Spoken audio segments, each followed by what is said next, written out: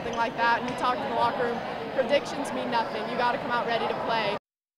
Former Terre Haute South basketball star Jaylen Minnett is having a good season for IUPUI. The guard is the favorite to win the sixth man award in the Horizon League. He's second on the Jaguars, averaging 11.6 points per game. Minnett is playing the best basketball of his college career. He's scored in double figures in five straight games.